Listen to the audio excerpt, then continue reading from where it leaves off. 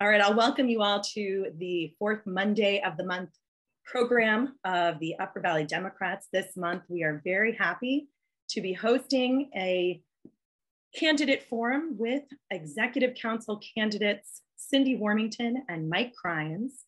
There is a primary, as many of you know, uh, and, and the primary is coming up September 13th. And the Upper Valley, the Upper Valley Democrats communities of Lebanon, Hanover, Lyme, Orford, and Piermont are all in the new executive council district, which we are not quite in yet, but which we will be voting on in September for that candidate uh, on September 13th. So we have we have all been talking about the election in November. We know about that, but we also have a very important vote to make September 13th. The Upper Valley is uh, one of the larger populated areas once you add our communities together um, in the new executive council district. And that means that the votes here in the Upper Valley will make a difference in the September primary. And so I want to thank um, Executive Councilor Cinde Warmington and former Executive Councilor Mike Cryans for being with us tonight uh, and answering questions. The format of tonight's candidate forum will be as follows. We will start with opening statements by the two candidates who are with us, and they will each have three minutes. We will then move into questions, and we have eight questions for the candidates. Each candidate will have one and a half minutes to respond. And we will alternate who responds first so that it will be even. The candidates will then complete the forum with offering two minute closing statements. Deb Nelson will be keeping time and will give the candidates each a 15 second warning. And we will then ask candidates at that time to please conclude their remarks, uh, wrap up at that time. We don't want to have to mute anyone, um, but we do want to get through all of our questions. And so I'll ask everyone we're going to be fortunate to have a number of people asking the questions tonight from across the Upper Valley. And so I will ask both the people asking questions as well as the candidates to be mindful of time. I have a couple of announcements to make at the very end, but we will be concluding our presentation, our forum tonight at 7.15. We know that everyone uh, is very busy and we want to be respectful of your time as well. Thank you so much to everyone being here tonight. We are all in this together and the stakes could not be higher than ever this November. And so with that being said, I would like to go ahead and get started and I will invite Cinde Warmington to offer opening statement. Thank you. So I'm Cinde Warmington and I am the executive councilor for District 2 um, and I am running for reelection. And I want to welcome you all to District 2. Uh, the district has been uh, redistricted, and I am very, very excited to be welcoming all of you uh, to District 2. When I came into this office, I came with 40 years of healthcare experience 20 years in healthcare, different jobs in hospitals. I was a laboratory technologist. I ran the blood bank at Lakes Region General Hospital. I went on to be a hospital laboratory manager, a hospital business office manager, other administrative jobs in healthcare. Then I went to law school and uh, I became a healthcare attorney and I chaired the health law section at Shaheen and Gordon uh, for more than 20 years and um, and then I um, ran ran for office as executive council and was elected in 2020 and started serving two years ago. And for the past two years, I have been the lone Democrat on the executive council in a 4-1 minority. But despite that 4-1, I came into this sure that we could make a difference and that I would be able to use the executive council to really lift up our democratic values And uh, despite the 4-1 uh, minority, um, and I, I, just have to say, Tom Sherman calls it the Warmington 4-1 majority. But um, despite that, we've had some successes, some big successes. Um, you may all remember when the Republicans on the Executive Council voted to reject $27 million in vaccine funding uh, by keeping the pressure on them, by executing a statewide communications program, we were able to um, really make them reverse their vote. And that was a huge success. Um, I'm going to talk more later about our successes in affordable housing, in Planned Parenthood, and in some of the constituent services that we've done from representing individual constituents all the way up to cities and towns such as um, Sullivan County, we can talk about the funding for the nursing home. And so I have done quite a lot um, and, on the executive council and um, made some many things that have never done be, been done before on the executive council. Uh, when I was running, I said that I would um, form a caucus, and I did that. And um, and we now have staff that executes a statewide um, communications program to educate voters about the importance of the executive council. I am, for the first time ever, coordinating very closely with the congressional delegation, with the legislature, which um, was frustrating to me that the council and the legislature weren't doing that. I was recruiting and supporting candidates, um, and, and we have we have um, actually recruited candidates for every district. So we've had a lot of success. Um, we have some tough fights ahead. I think what we really need on the executive council right now is proven and tested leadership. And I ask for your vote on September the 13th. Thank you very much, Cinde. And if it's okay, I'm going to address you each can, as Cinde and Mike, if that is uh, acceptable. That's great. Uh, can I just say that um, I couldn't see Deb, so if she's oh. holding up the spotlight, I was spotlighted. So maybe you could just give me a, a ping or something. oh, okay. Okay, thank you. Mike Cryans, please, for your opening statement.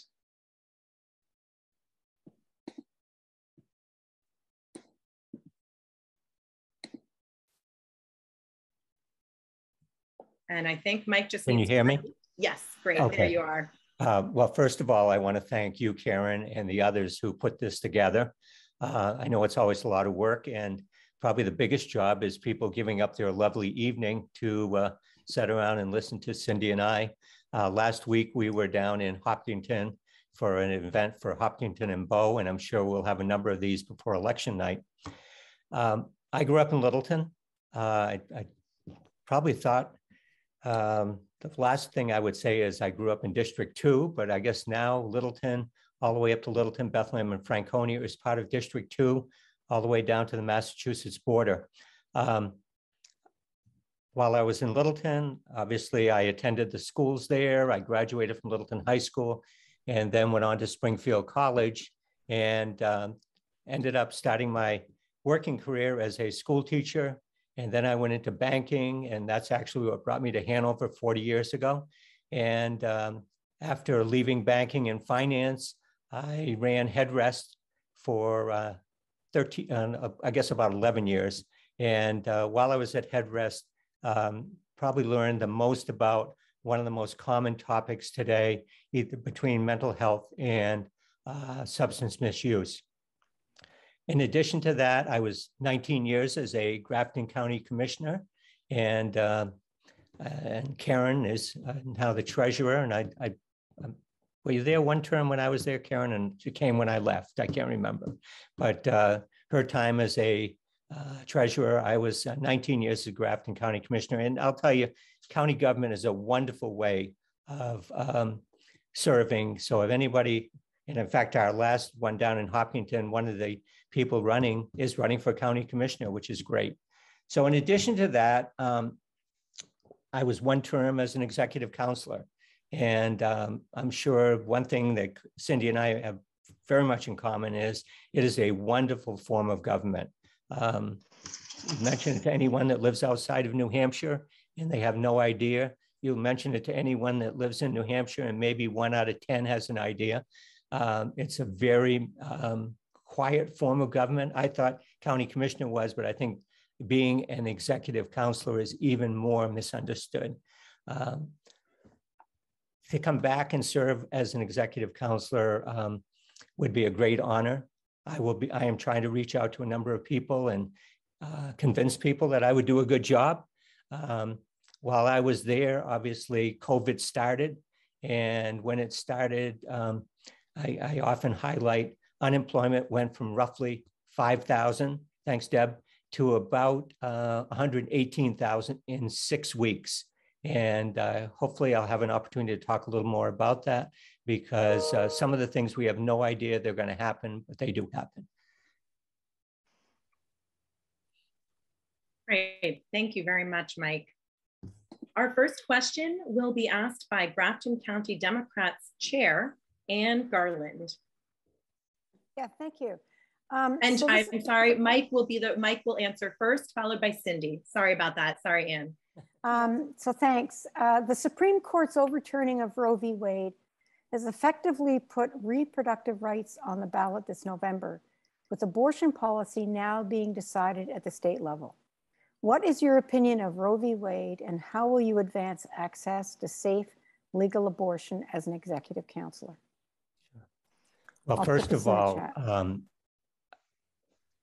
I think everyone was stunned on our side of the ballot that uh, it was um, turned down because uh, the impact to women around this country is phenomenal. And um, while I was an executive councilor, I was endorsed by Planned Parenthood. And as a councilor, what we can do, I think the best thing as councilors we can do is not uh, nominate and uh, not approve someone like Gordon MacDonald because he was dead set against uh, Planned Parenthood and all the things it does uh, and a woman's right to choose. I think the other thing we can do is make sure that all the justices that we do approve, and there will be one, one of the biggest things we will be doing after November is that there will be a new uh, Supreme Court justice when Gary Hicks reached the mandatory retirement age. So I think that is so important. Think the other thing that we can do is go in right up front, and I know Cinde and I agree on this, that we would vote yes for Planned Parenthood because that is the, the things, certain things uh, executive councilors can do, and that is probably the most obvious one we can do, is to help Planned Parenthood and to vote down justices that would not um, give a woman a right to choose.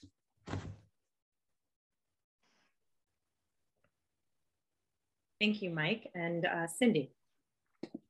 Yes, so I am a, a strong advocate of uh, Roe v. Wade. I, I, hope it will be codified at the federal level, um, and maybe at the state level, but I hold out no hope for that. As many of you know, the Executive Council itself is not a legislative body but it is a place where we have a, an enormous voice to lift up our values. And I have done that. I have been relentless in pursuing uh, the Planned Parenthood funding and holding the council accountable for defunding Planned Parenthood. I have demanded time after time that the governor bring that contract back to the council. And in fact, that is happening uh, this week on Wednesday. And we will um, hopefully, um, the other councilors will have changed uh, their minds and, and understand that these are essential, essential healthcare services that um, the women of New Hampshire need access to. And uh, in addition to that, I um, as soon as the council defunded Planned Parenthood, I coordinated with the congressional delegation. Um, I am honored to have the endorsement of the entire um, congressional delegation, Senator Shaheen, Senator Hassan, uh, Congresswoman uh, Kuster, and Congressman Pappas. And um, coordinated with Planned Parenthood to make sure that those gaps were filled to the extent we could. There was a $500,000 dire needs grant that was able to be brought to Planned Parenthood. That still left two of the um, abortion providers in our state with no funding, no state funding, no federal funding, and we are working um, very hard for that. You may have seen in the in a recent meeting where I held um, the gov governor accountable and said to him, "I understand, Governor, that because he continues to say that nothing has changed after the Dobbs decision striking down Roe v. Wade. And I advised him that while I understand that for him personally, nothing has changed, for 50% of the population, we've just been told that we are second class citizens and that I want to see that we will not be treated that way, that women in New Hampshire will have access to full reproductive uh, services in our state. That's so um, I will continue to be a, an advocate for reproductive health care. Thank you.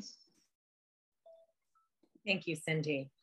Our next question will come from Lynn Garfield, who is the chair, uh, co-chair of the Vice, Vice. Uh, Vice Lynn Garfield, who is the vice chair of the Lebanon Democratic Committee.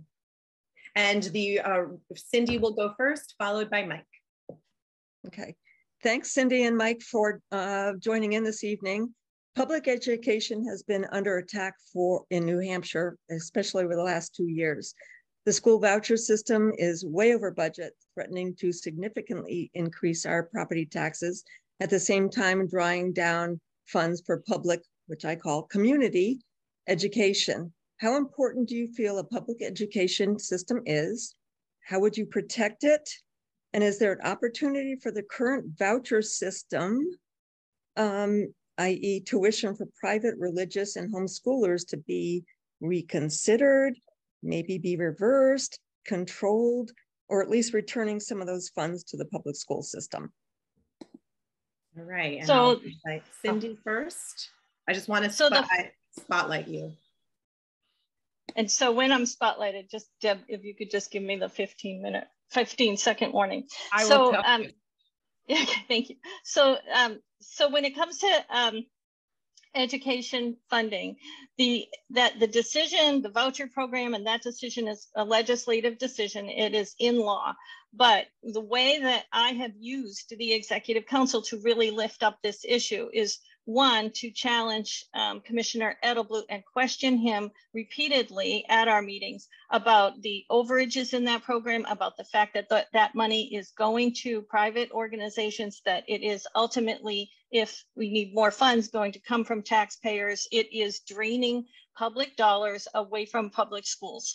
And I, um, I work on a regular basis with NEA on this. In fact, um, before every meeting, I coordinate with NEA on any items that the Commissioner of Education brings before the council so that we can use those as an opportunity to educate the public. The council itself is not going to be able to reverse this decision that is made by the legislature, but the council is a great place to lift up those values and make sure that the public really understands. And so in addition um, to that, I have um, stood up to Frank Edelblut and taken the case directly to the public. So starting last um, spring, I um, started running public forums to really educate people about what's happening with public education. Thank you. Mm -hmm. Thank you, Cinde. And now we'll ask Mike to respond. Well, first of all, I think the easiest way and the best way to improve public school education is to get rid of Frank Edelblut. Um, while I was on the council, I voted against his pay raise. Uh, he came in and sat down in my office, or I guess collectively our office, when we all five sit in the same room, and said, What could he do differently? And I said, Every teacher I talk to feels you're an enemy of public school education. I was a public school teacher for five years. Um, my two kids went to public school. I'm a strong advocate for public school education. Um, many of my friends are teachers, and uh, I think whatever we can do to improve uh, the money that goes to the public school education should stay in public school education because, as we all know, the money that gets taken out has to come from somewhere, and it comes from their property taxes. And uh, so we're in a sort of a no-no-win situation when when Edelblut transfers money throughout the, uh, uh, as he foresees is the best way to do it. And I would be a strong vote against any of that money going against, but I do agree with Cinde. And as Ray Burton often would say, some things you just can't change because we're not legislators. We're part of the executive branch of state government along with the governor. Thanks, Deb, for the warning. Sure. All right. Thank you, Mike. Our next question will be asked by Lebanon, the uh, Lebanon chair, uh, the chair of the Lebanon Democrats, and that is Nancy Graham. Hi, Cinde and Mike. My question for both of you is, according to the Office of the Chief Medical Examiner of New Hampshire, in the year 2020, New Hampshire had 417 deaths due to related to opioids. The issue touches the lives of many, many Granite Staters. What would be your approach to addressing substance abuse disorder as an executive councilor? And we'll start first? with Mike. Thanks. Well, during my time at Headrest, um, learned a phenomenal amount about, I had served on the board a number of years before that, but when you're there and you see some of the parents come in and drop off their kids, and, uh, and when I say kids, they're 18 and above, so they're not little kids. Um, some would say, You're all I've got. And they know, especially with fentanyl now and the rise of methamphetamines, people are dying. And the analogy I used one time in a meeting is I said I was driving down to Concord and I took a right and went towards Manchester. And there was one of the highway signs that said 98 people had died from traffic accidents, which is a, real tragedy. But at that same time, I think it was almost 300 that had died from uh, overdose, especially fentanyl is so lethal now. Um, what I would do is while I was at headrest, woefully underfunded is the money that comes from the state to uh, especially residential um, treatment programs and counseling, woefully un- underfunded. The other thing is mental health. I, I want to give the um, legislators that might be on uh, the panel, not the panel, but listening tonight, uh, a big thank you because they put in $200,000 to go and help Headrest on their uh, suicide hotline um, number. So anything that we can do to um, get additional monies into either uh, residential housing uh, programs eh, or uh, in, in addition to that, mental health. Thank you, Mike. And Cinde. Thank you. So as I said, I, I spent 40 years in healthcare and um, for me, a big part of that was working on the issue of mental health and substance use disorder treatment. I sat on the board of the Lakes Region Mental Health Center uh, for many years. I chaired that board. I later sat on the Riverbend board, and I also was on the board of the Professionals Health Program, uh, which helps to uh, address opioid addiction among healthcare providers during that time, I also, as an attorney, I also uh, worked on expanding access to telehealth, which was huge in the area of mental health and substance use disorder treatment.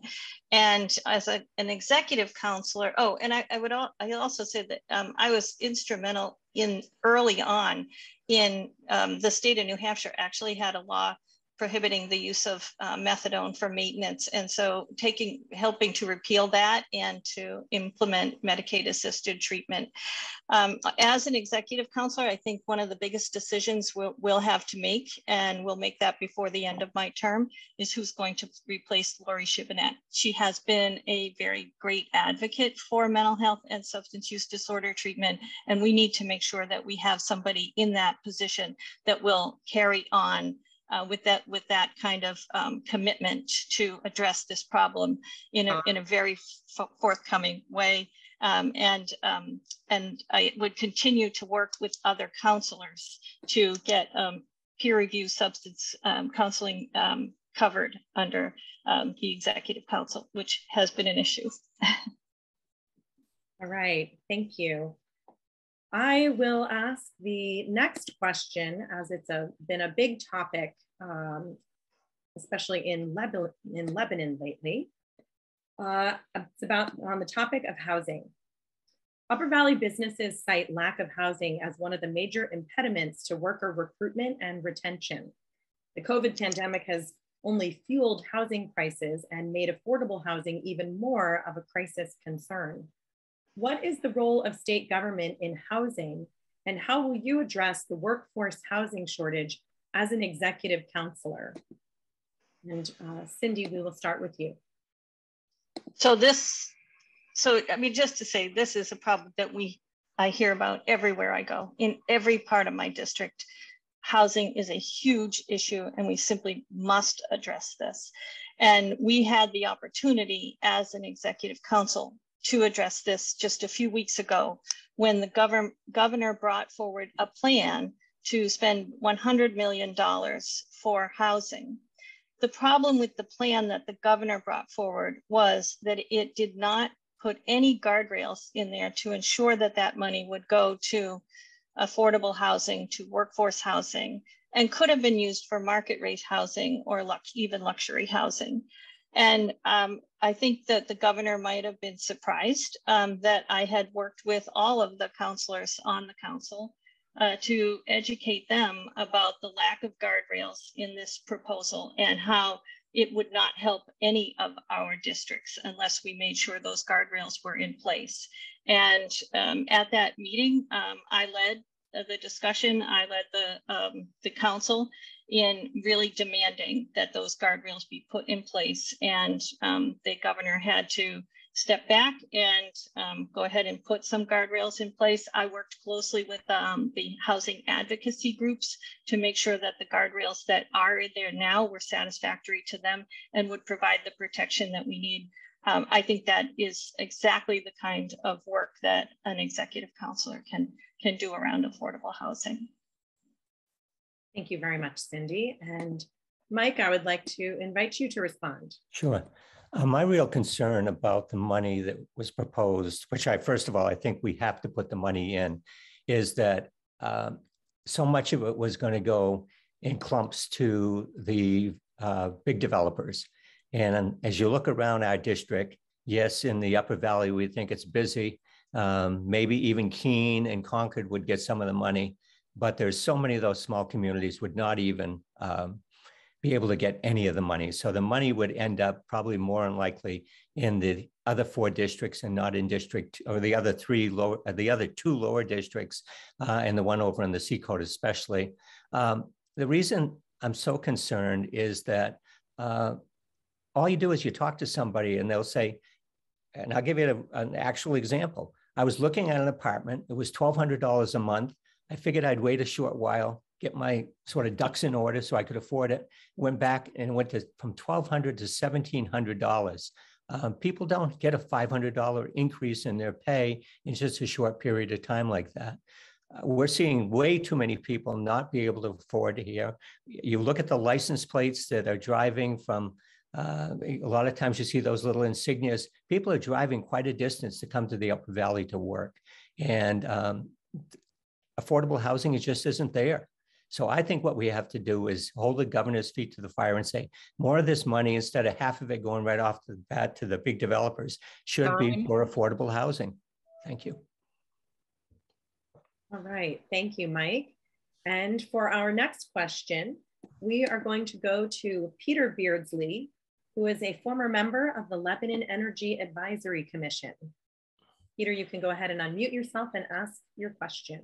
Thanks. I was struck by the absence of any reference to climate change on the list of topics for tonight's forum.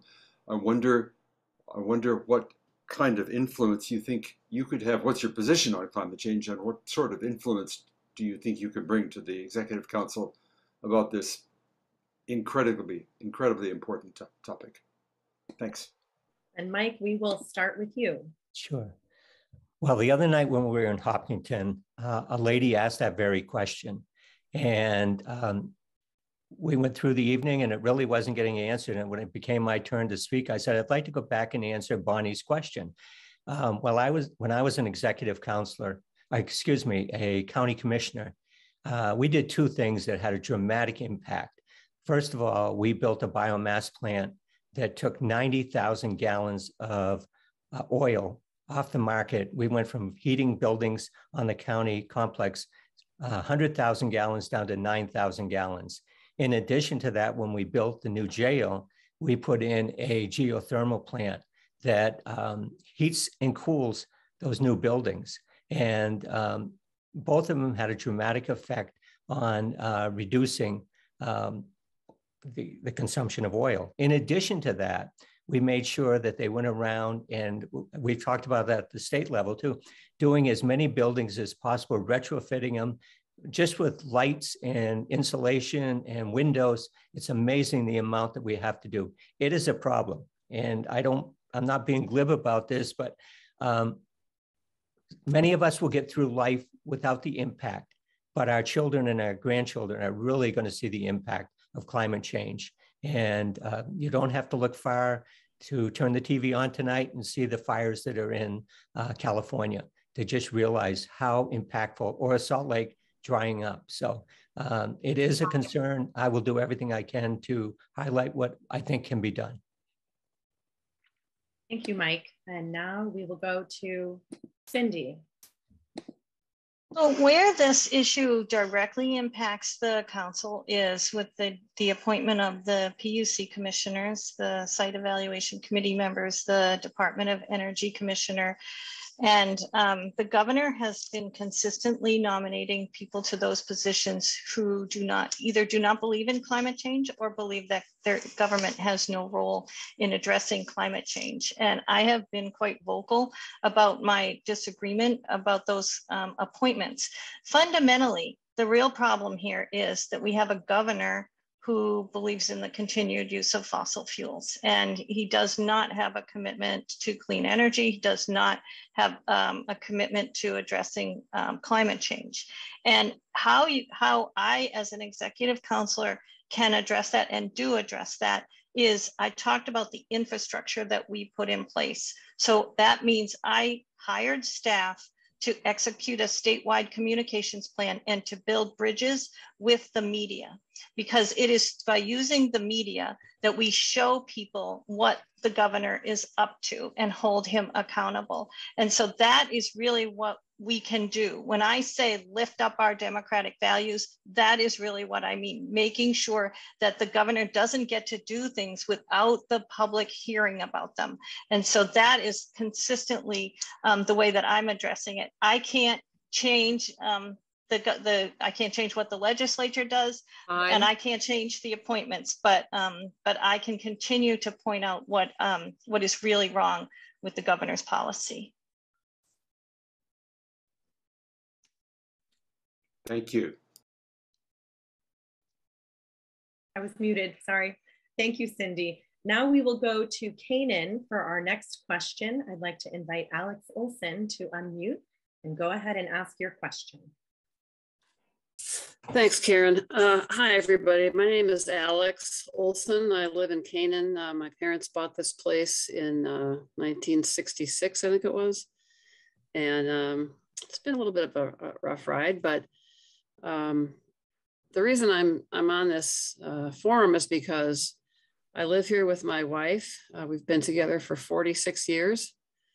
And given the um, given the, the nature of the vitriolic attacks now against the LGBTQ community in this country, I'd like to ask both Mike and Cinde, uh, what, what plans do you have to help our community? What have you done for our community in the past? And how can we uh, trust you to stand up for us when we, we are being attacked every day in the media by right-wing bigots? Um, basically what's what's your stance on LGBTQ rights, uh, and how do you how do you think you're going to proceed on the council uh, should you get elected to it with with making sure that our rights are not taken away from us? Thank you. Thank you for that question, and we're going to start with Cinde. Um, I just want to say that this is a this is a very personal issue to me. Um, my daughter and her wife have two my two beautiful grandchildren. My son and his wife have another. Um, the idea that the United States Supreme Court will invalidate that marriage is uh, abhorrent, and it is uh, something I just truly have a deep personal commitment to. In in addition to you know my personal feelings about this i make sure that we lift up diversity at every opportunity that we make sure that that we have all of the voices at the table And I I give an example of that. Uh, I just recruited candidates to run in the other four districts and made sure that one of our candidates is an LGBTQ uh, candidate. And that it's just so important that everyone have a voice at the table. And I am committed to that in terms of always trying to reach out and find um, people to fill positions in various boards and commissions um, that will bring all a diversity of perspectives. And um, I am 100% um, uh, committed to making sure that LGBTQ rights in our state um, are protected. Thank you, Cinde. And now we will go to Mike. Sure. Um, I view it as a civil right, and you have a right to be marry the one you love and to be with the one you love. And um, you know, I, I can't remember probably a day that I didn't know someone that was a good friend. And um, I, I just don't see it as a as an issue that should be held against someone, but I, I do know there are people that are doing that and would love to see it overturned. Um, when we're on the council, one of the best things we can do is make sure that does not become an impediment to uh, either one, a good position as a uh, nominated person for a senior position in state government, which is one of our responsibilities. Uh, make sure that uh, judges and justices don't show a, um, uh, I'll say for lack of a better word, an ignorance to the issue and uh, don't seem to respect the rights that um, you must be we all have. And, um, you know, basically, my, I guess the bottom line is as, as um, executive councilors, when we vote on someone, we should be voting on the best person for that job. And I'm sure that uh, that should not rise up to be an issue to hold someone back. Thank you very Okay, much. Thank you both. Thank you very much. All right, for our next question, we will go to our state senator, Sue Prentice. Good evening. Um, one of the major duties of the Executive Council, um, as you both know, is to review and confirm governor's appointees to boards, commissions, um, state agencies, and even the New Hampshire Supreme Court. So I'd like to hear from each of you. Um, what is your approach to vetting these, these candidates? We will start with. We will think I'm start with first. Mike, please. Sure. Uh, well, good evening, Senator. Um, my approach has always been, especially those that have hearings, which are usually at the highest level of uh, positions, is to give them a, a chance to present themselves, give them a chance to have people either speak either for or against their nomination. And after that, um, gather up information uh, from my constituents. Uh, obviously, the most famous one that I was involved with was the um, Gordon MacDonald uh, nomination. Um, I know there were some people unhappy that I didn't come out the very first day, but I had told them that I wanted to make sure and hold that true for anyone that they would have an opportunity to have their public hearing and then um, uh, turn around and after that have um, uh, a chance to talk to people within my district. The people in my district spoke loud and clear, and they were very anti Gordon MacDonald. And um, when I called the governor to tell him that I was voting against Gordon MacDonald, I've often used this line. I, I said, if he could have climbed through that phone line, he'd have probably wrung my neck. He was so mad at me. Uh, but Gordon MacDonald was not the right person for that position. And um, I think it was a, the best vote I made. Uh, in fact, I sometimes say uh, um, whimsically that um, I'm the only one I know that had an, uh, a comic strip written about my vote against uh, Gordon MacDonald to the tune of Old MacDonald. So, uh, Time.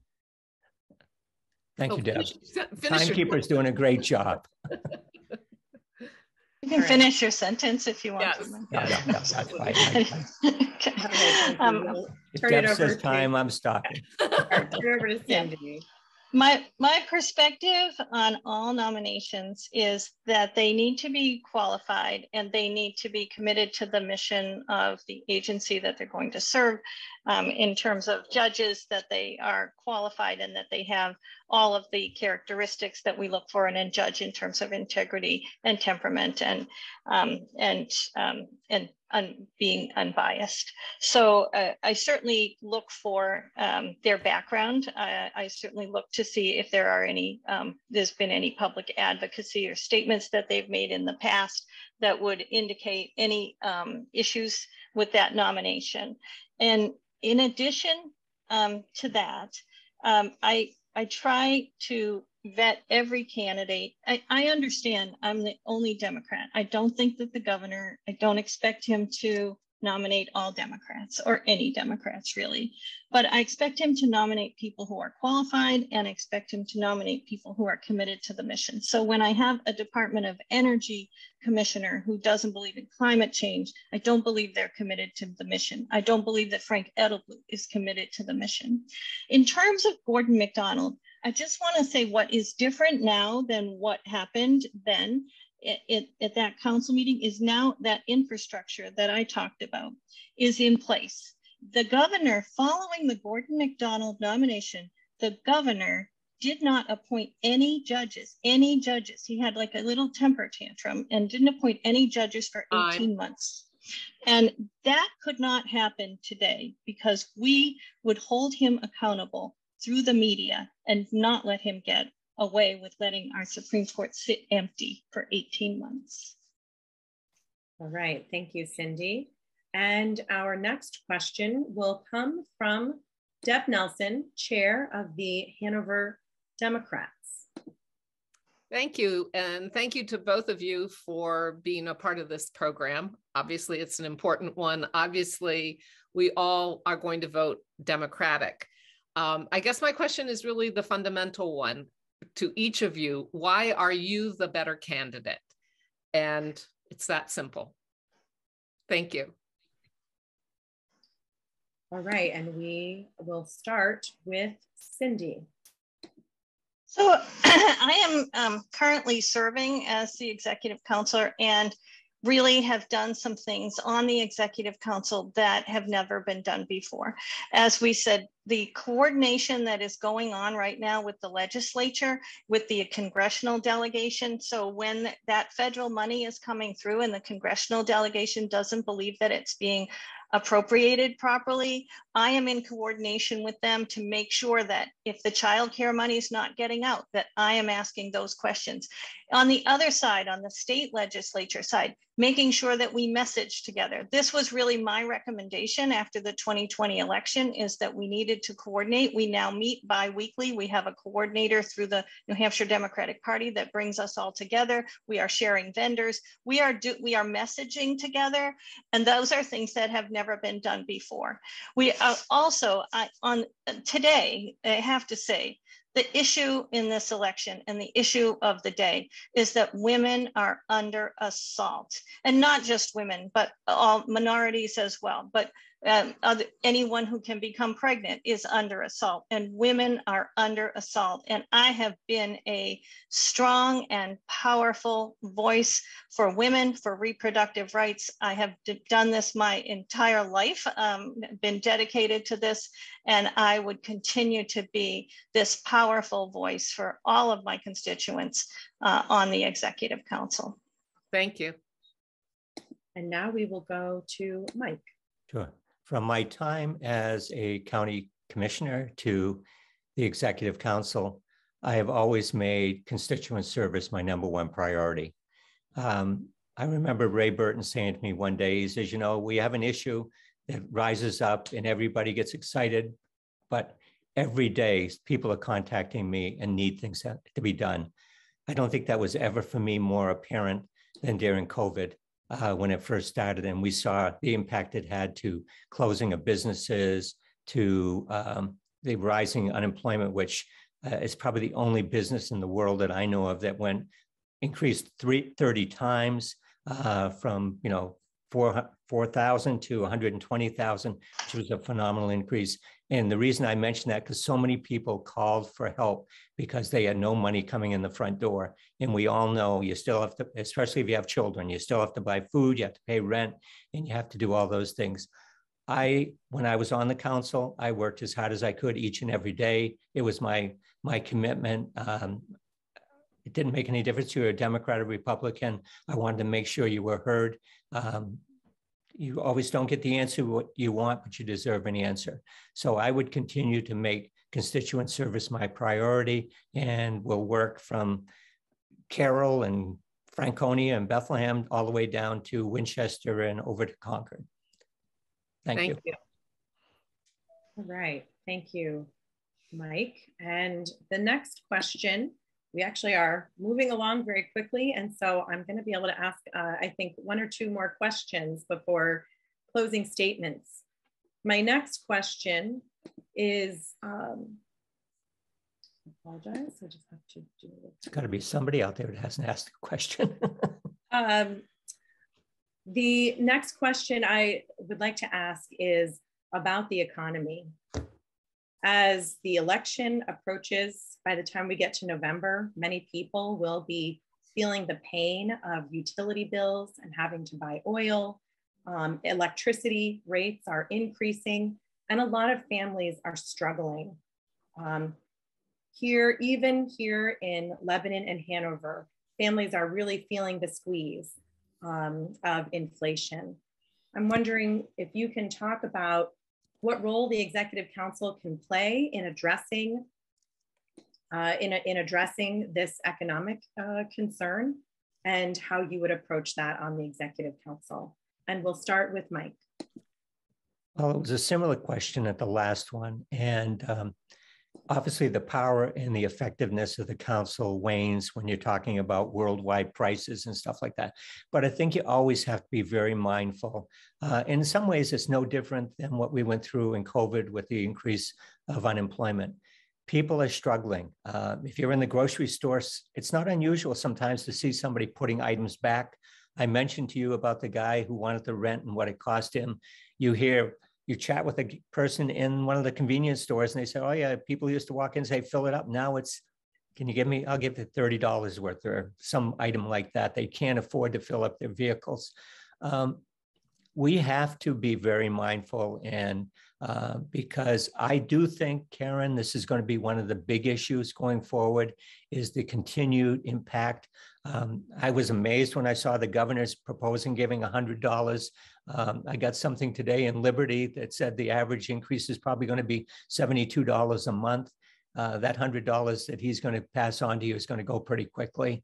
Uh, so, I mean, those kind of token efforts, I'm not sure make a lot of difference. Um, and, and the final thing I would say regarding that is that if anything comes across with monies that can come back into the state and can be used to help offset some of the cost. I'm I'm for it, but I think with uh, the the flow of money coming into the state, I think is going to start to diminish. So I think, unfortunately, many of them are going to be left on their own. So uh, I guess I would end. I saw the sign go up. Uh, be mindful of it and do the best we can to make sure that we're always concerned about those that can least afford to pay for what they have to pay for. Thank you, Mike. And now we'll go to Cinde.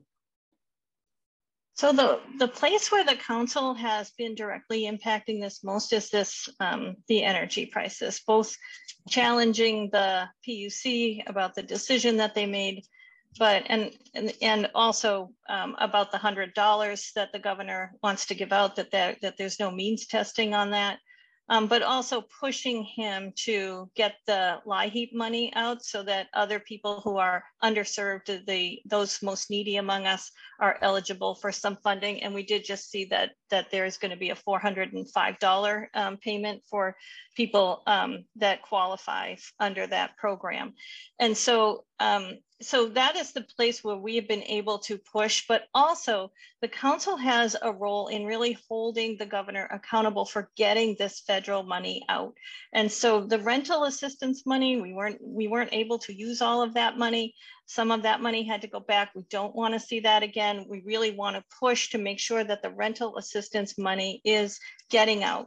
That money that there's money right now to restaurants um, that is, is the governor's office, the GOFERR office is not doing a very good job of communicating that that program out to restaurants. So, so many restaurants are eligible for this program. They don't know about it. So a large part of the council's role here, when you talk about constituent services, is reaching out and making sure that people know what is available to them. And one of the ways that I've done this is to by really getting to know every single city and town that I represent, what their needs are, so that when something comes up, I'm reminded, oh, that's right. That town needs this. This program would be good for them. Reaching out and making sure that they that they do that and um, that they get those funds. And it's going to be a tough time ahead um, until we get inflation time. under control. Um, thank you. Okay, thank you. And for our last question before the um, closing statements, I'm going to go to Tom Opel, the chair of the Canaan Democrats. Um, thanks to both of you, Cinde and Mike. Um, great public servants, and it's a shame that we have to choose. But thanks to the Republicans and uh, their awful redistricting plan. Um, and Tom, I think if you can just um, speak a little louder, I'm having a little bit of a difficulty hearing you. Uh, okay, hopefully that'll hopefully that'll be better. Um, I, I know that uh, the executive council position is obviously an executive position, not a legislative one. And I know that the Secretary of State is elected by the legislature, but I'm wondering what both of you would do regarding the issue of, of protecting our democracy. Um, there are all sorts of threats to it, mostly uh, related, I think, around the issue of people being able to vote and this false narrative that has been promoted uh, by folks on the other side about voter fraud, even here in New Hampshire. And Secretary of State Scanlan has, has created this voter confidence committee, which my fear is is doing more to raise questions about uh, voter confidence than it is to uh, restoring confidence. Um, as an executive councilor, you would have a platform. I'm wondering how you might use that platform uh, uh in terms of doing what you can to promote and protect our democracy, whether here in New Hampshire or around the country, frankly. And we'll go first to Cinde. Sure, thank you. Thank you for the question. Um, I, just so you know, um, my husband, Bill Christie, is the voting rights litigator um, he, in the state. He represents the New Hampshire Democratic Party and does all the voting rights litigation in the state. So we eat, drink, sleep, breathe voting rights in this house. And I've been part of that voter protection program as an attorney for many years. And uh, you, you know, you are absolutely right at every level that our democracy is under assault from we've seen it obviously the what's going on in the january 6th hearings um, an effort to overturn the will of the voters. But that on, on, a smaller scale that is happening here in new hampshire. When we see this gerrymandering that has just happened again on the executive council the senate the house this is you know an effort to dissuade people from voting. Voter id making it harder for people to register making it harder for people to vote. Because when we vote as Democrats, we win, and they know it. And so they need to do other things to undermine people's right to vote. That is wrong. As an executive councilor, that is one of the primary issues I, I look for in, a, in the judicial nominations and also um, raise up uh, at the executive council when the governor does things or doesn't do things that he should be doing to protect our democracy. We at the executive council have a unique position. We get to question the governor every two weeks. The governor can ignore the legislature, and he does. He can ignore the media, but he cannot ignore the executive council. And now that we have really put in the infrastructure, the media is at executive council meetings and paying close attention to what's going on there. So it's made it very difficult for him to avoid being held accountable. And that's what we can do as executive councilors. Thank you, Cinde. And now we'll go to Mike. Well, voting is such an important opportunity for all of us. Um, and, uh, and many of us know that probably the area that people that want to go after a group not to vote is they pick the colleges. And District One, the old District One had Dartmouth College and Colby and Plymouth and, uh, you know, and up in, Ke- Berlin. And I asked the uh, nominee for the Chief Justice of the Supreme, State Supreme Court, Gordon MacDonald, I, I asked him a couple of questions about voting rights. And at the end, I said, You have a young daughter. I have a young son.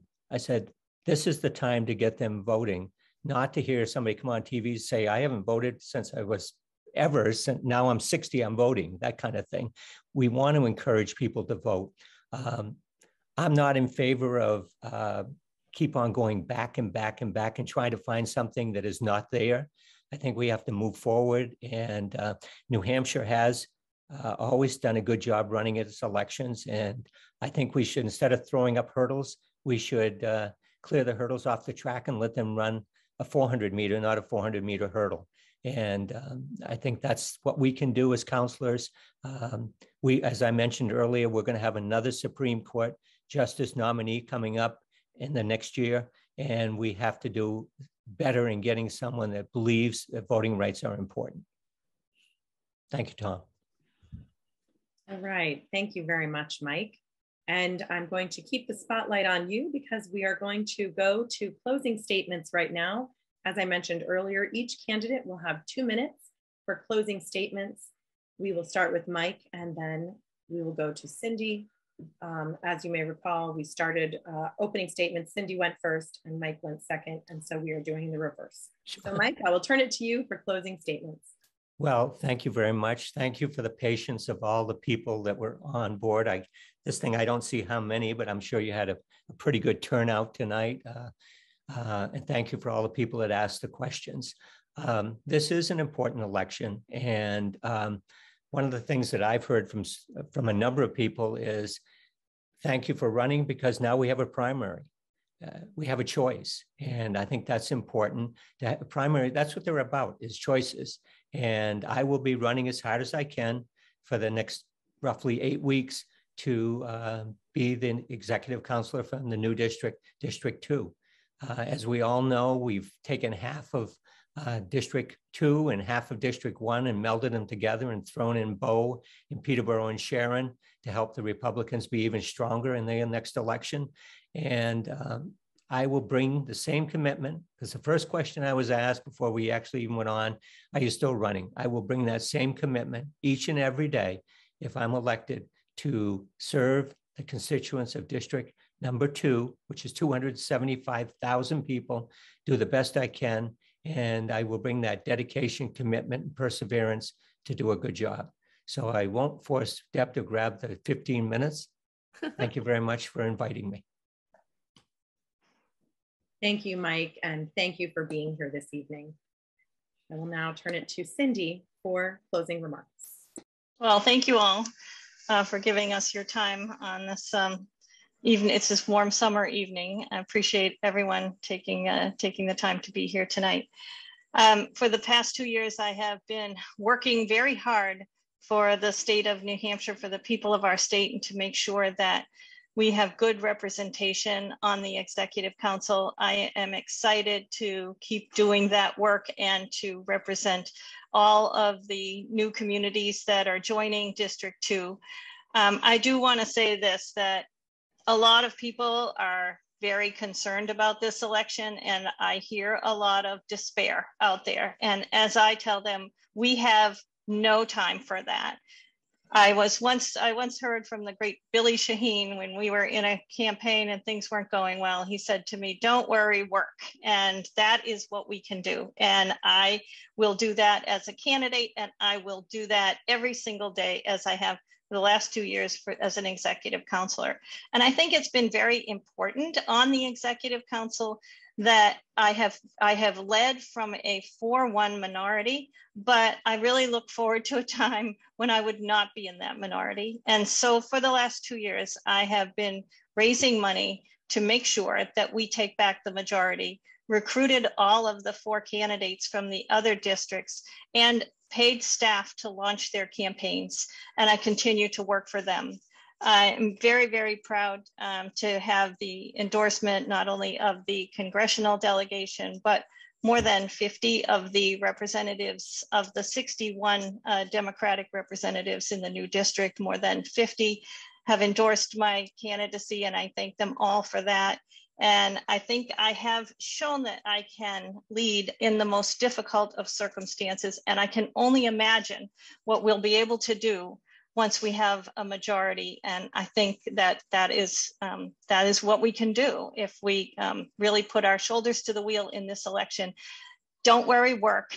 Let's go win this. We can do this. And I um, humbly ask for your vote on September 13th. Thank you. Well, thank you very much to both Cinde Warmington, current executive councilor for District 2, and Mike Cryans, former executive councilor for District 1, um, who is now also running for the new Executive Council District 2. There is a third candidate in this primary election. You will see a third name on the ballot as well. His name is Bradford Todd, and he is from Keene, New Hampshire, or lives in Keene, New Hampshire.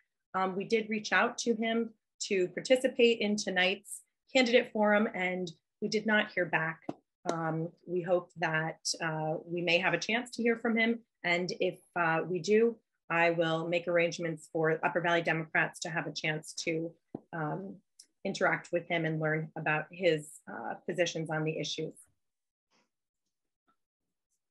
I'm, we do have an important election on September 13th. Uh, we do have about eight weeks left. And so in the last four minutes that we have, I would first like to acknowledge that we do have um, some very special guests this evening our, um, I see that our state senator, of course, we already heard from her, Sue Prentiss is here. We also have state representatives. I know that I saw Sharon Nordgren, State Representative Susan Almy, State Representative Mary Hakken Phillips, State Representative James Murphy, and um, did I see State Representative Richard Abel as well. Um, we also have guests from across not just Grafton County, uh, we did hear from our chairs from the Hanover and Lebanon chairs, as well as the Grafton County chairs.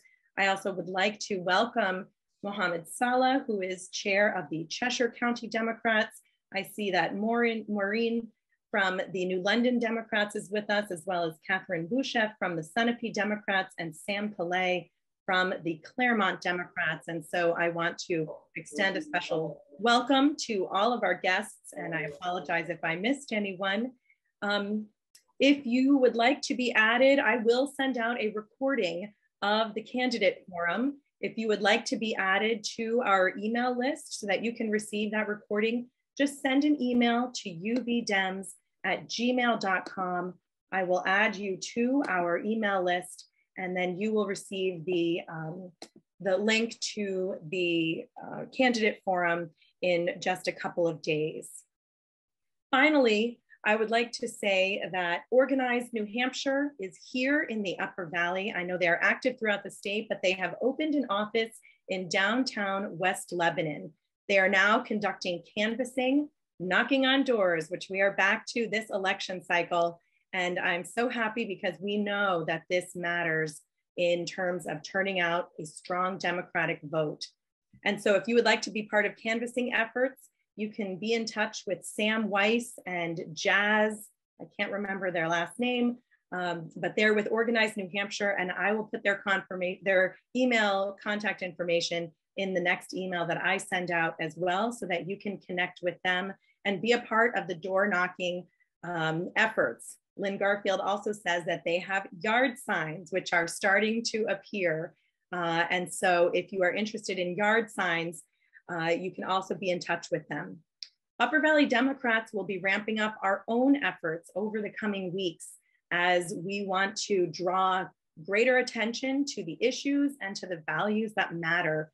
We need to turn out, our job as Upper Valley Democrats is to turn out a big vote because we know that when Senator Maggie Hassan was only elected by 1,017 votes six years ago, we know that that can be the difference of an enthusiastic uh, group of Democrats here in the Upper Valley. And so things that we're going to be doing will be writing letters to the editor and highlighting issues.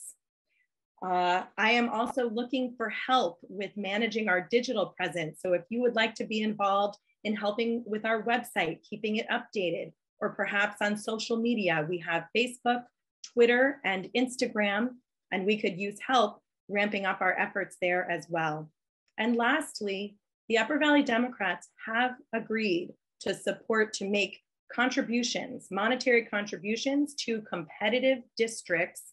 There are some competitive House districts, and there is also an effort being put on by the Grafton County Democrats to support races in throughout Grafton County. And uh, we need to raise a little more money so that we can support those competitive races. And so I would also like to plant the seed that um, if anyone is interested in helping to plan an event for September, an in-person event of some sort that could help to raise those funds to support candidates, I will be asking for volunteers to be on a committee to work on that as well. I'll include those volunteer options in my next email, so please send an email to uvdems at gmail.com in order to be added to our list. And I see that it is 7.15, and so respectful of all of your time, I will say thank you so much for joining us this evening and onward. Let's all work to make it a very blue New Hampshire this September and November. Thank you.